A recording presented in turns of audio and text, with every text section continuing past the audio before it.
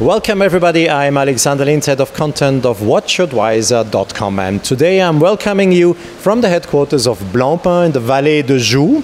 It's in the Swiss Jura Mountains and uh, you can hear it from the noise behind me. There is a river and uh, the snow is melting up there so it's uh, pretty much water coming down from these mountains here.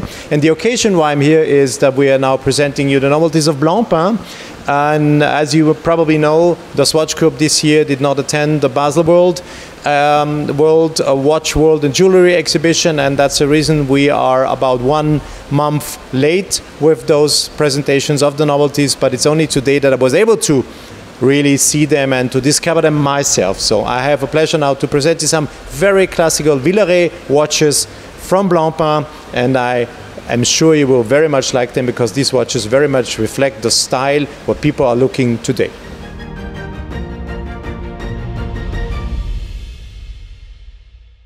So, as I just introduced, um, Blancpain is getting back to a segment of watches or is bringing uh, uh, some watches on the market this year that really very much reflect the taste of today. And the taste of today is slim and not too small and uh, let's say, very classical look.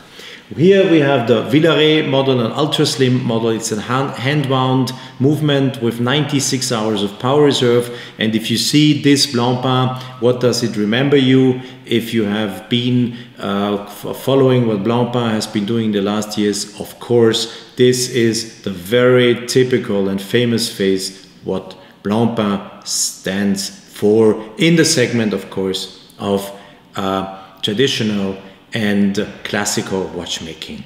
We're not talking about the sports watches, we're not talking about the 50 fathoms or the 50 fathom bathyscaphe, that is another phase, but the traditional, classical, elegant look of Blancpain is this. And when I saw the watches, I really got goosebumps because it's many, many years ago when I uh, first saw these watches when Blancpain was starting again, bringing back mechanical watches on the markets after the quartz crisis. These were those models we have been seeing and enjoying very much. I, I like it. Look how thin the watch is. It's a really elegant watch.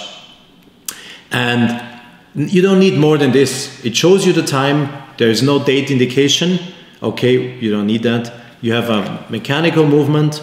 It is hand wound, as I already told you, 96 hours of power reserve, and it's a 40 millimeter watch that perfectly, really perfectly goes under the sleeves of your shirt. And if you're not sure how much power reserve is left, they put the little power reserve indicator on the back side of the movement. In this case, it's about, yes, half full, so still some good 48 hours to go.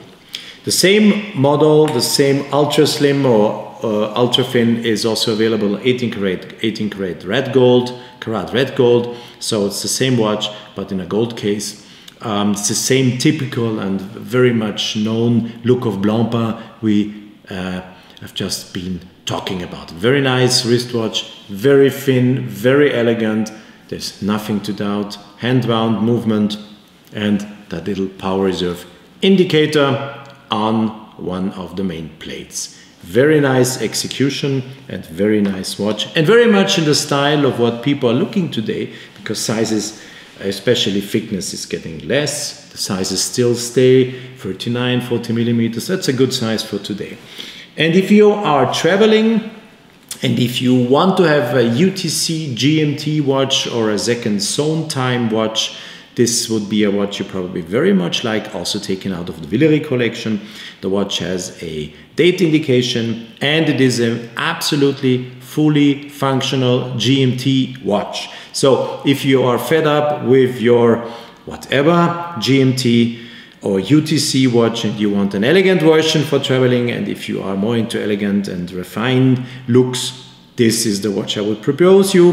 And if you now think that this is a gimmick watch and, uh, and uh, second zone time functions are just applied on the dial but they are not working correctly, I would uh, invite you to have a closer look.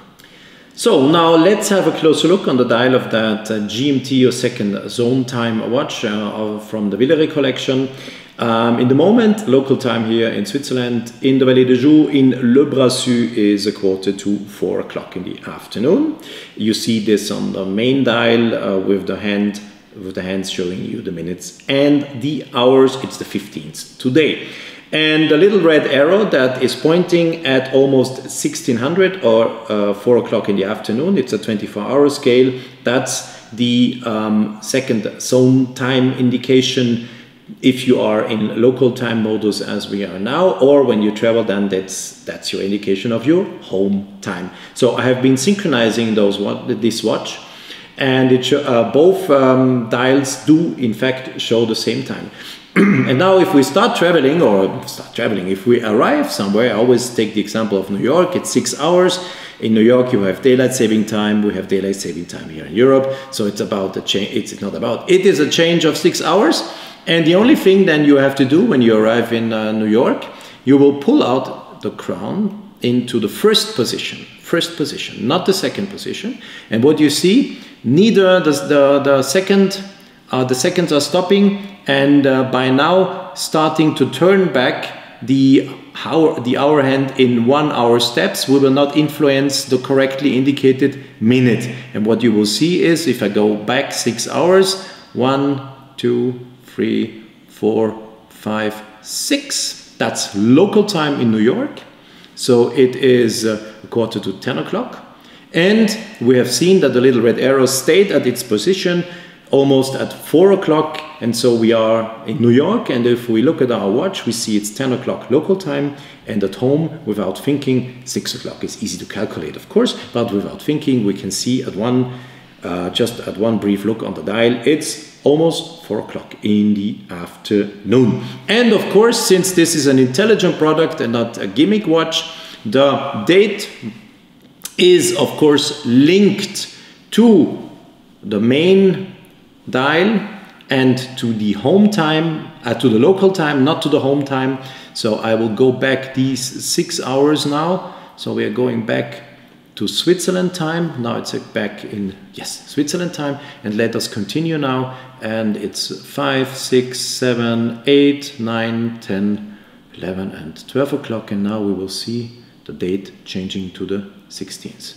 So it is the 16th now indicated on the dial and so it is absolutely the, uh, clearly that the date has to be linked to the main dial and to your local uh, to your local time. So if you travel, you will always have indicated the correct time. So a very functional and very smart and very clever uh, made GMT watch from Blancpain.